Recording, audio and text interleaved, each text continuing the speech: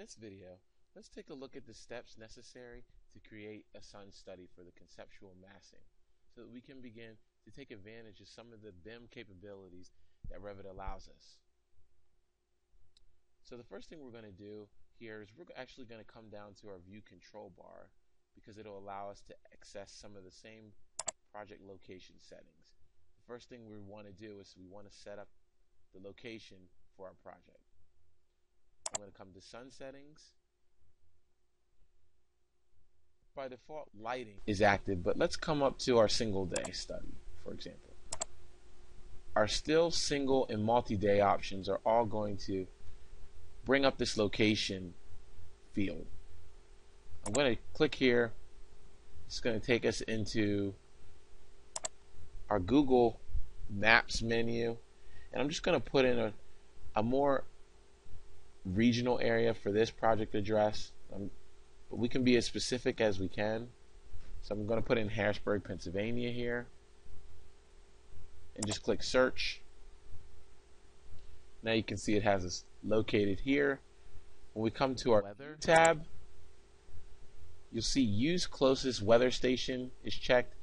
I'm going to leave that active for Harrisburg Capital City Airport is where it's finding based on that location. The last site tab allows us to go ahead and define a true north versus project north. We're not going to deal with that in this video, but we will revisit that in a future video. So I'm going to click OK now that we have our internet mapping service project address defined. In the next step down here, we can defer, we can predetermine the date that we would like our solar study to be based on. You'll see this is in session, and I can modify this to any date that I would like to.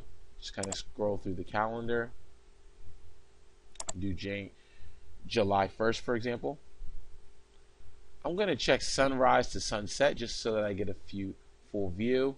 But if we're interested in just a particular time range, we can specify that as well. As far as time interval, you'll see that 15 minutes is going to allow us a much longer sun study that's you know that's taking one frame. You'll see the frame number is actually changing. So right now we have 15 every 15 minutes it's giving us a frame from sunrise to sunset. And as I reduce that to 30 minutes, the number of frames is cut in half and so forth and so forth. So let's leave this at 15 minutes so that we are able to view the sun at a decent pace from sunrise to sunset. And lastly, we're going to leave our ground plane checked. The simple topography surface that we created is at level 1. So we're going to leave that check for this. If we wanted to evaluate our winter or summer solstice or our spring or fall equinox and study those times. Those presets are already set. So actually, let's take a look at our fall equinox for this. You'll see it that already went and changed our date and time. I'll check sunset again, and I'm going to bring that to every 15 minutes based on that preset. And now I'm going to go ahead and click apply.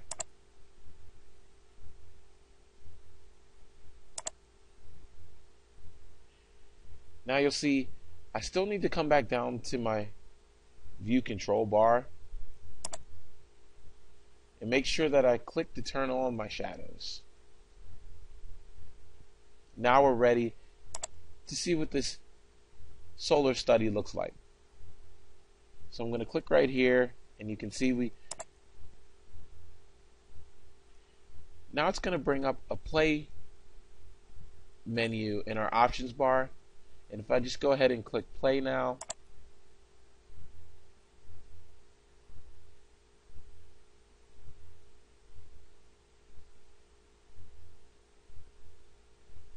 you'll see Revit runs through the preview of that sun solar study. Now that we have created this single day solar study, the next step Let's export this to an AVI that will allow us to continue to view this.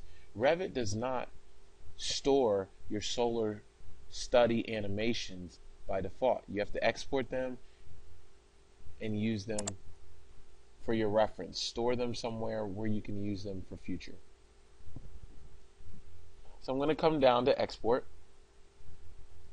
Then I'm going to come all the way down to images and animations. And you'll see solar study. Going to click on that. Brings up my length and format menu. We're just going to come down and change the frames per second. You'll see the total time is only three seconds. I like to create a video with a little bit more length, kind of dragging out the shadow so that I can study it at another time. So I'm going to change this to 5 frames per second, which is going to give us about a 10 second video.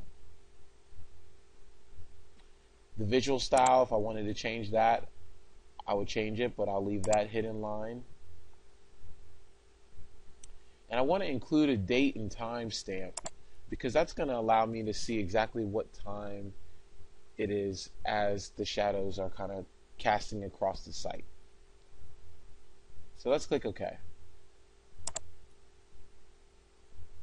Now I just need to specify a place that this AVI, I'm just going to save mine to the desktop. And I can name this Solar Sun Study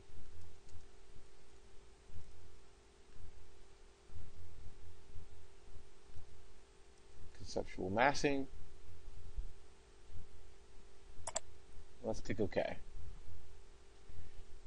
Revit's going to ask you one more question. This video compression menu, I'm going to leave this fully uncompressed and just click OK. And you'll see Revit will actually go through and generate this frame by frame. What it is doing is rendering this to create that animation frame by frame. And once status bar shows complete, then Revit will have saved my solar study animation to the hard drive.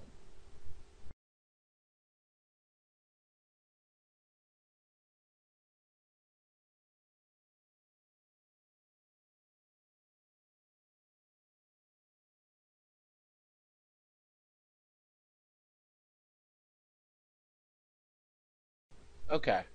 Revit has completed generating the frames for my animation. I hope this video has been helpful.